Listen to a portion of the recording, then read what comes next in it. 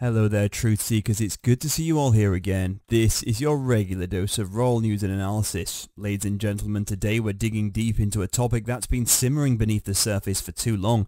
It's time to expose the truth about Meghan's calculated plot to manipulate Harry into her love, and how it was all pre-planned. But whoa, before we get started, subscribe and hit the bell icon.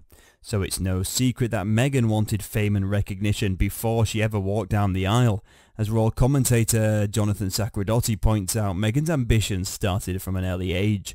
Her marriage to Harry wasn't just a fairy tale romance, it was an orchestrated move to capitalise on opportunities. Let's not be naive, Meghan was aware that marrying into the royal family for her reputation and exposure. She knew that her name would be on the lips of many people. It was all a part of her plan to create the Sussex brand outside of the royal family, and I have to say she's been successful.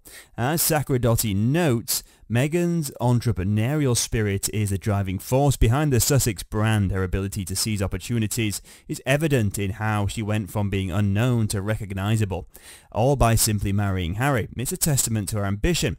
But I don't want to completely discount the possibility that Meghan and Harry have genuine feelings. Love can exist alongside ambition after all, but it's clear that their marriage wasn't based on love solely. It was a move to advance her personal and professional goals.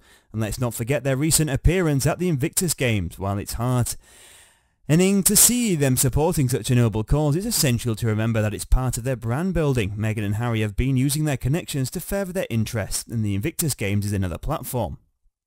As they celebrate Harry's birthday in a luxurious £2,000 a night presidential suite, we can't help but wonder how much of their actions are driven by a genuine desire to make positive impact and how much is fueled by their thirst for fame and recognition. In conclusion, Meghan pre-plans plots to trap and manipulate Harry for her own ambition and gain is finally being laid bare. While they may not put on a show of love and support, it's essential to see through the facade and recognise the calculated ambition that's driven their actions. So what do you guys think about the news? Let us know in the comments and we'll see you next time for more royal news and of course analysis.